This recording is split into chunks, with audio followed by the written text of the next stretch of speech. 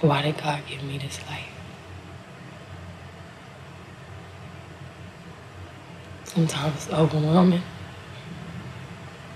Why did God give me my talent, my gift, my family?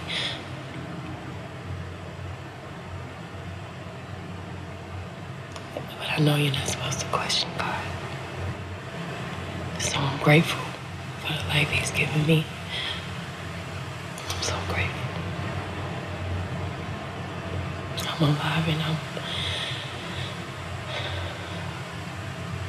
living a dream.